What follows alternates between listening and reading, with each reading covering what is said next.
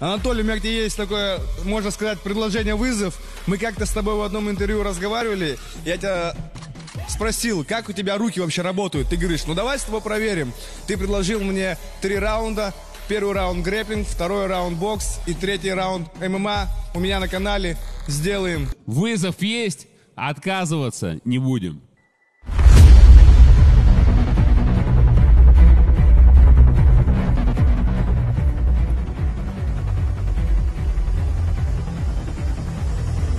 Защищать друзей.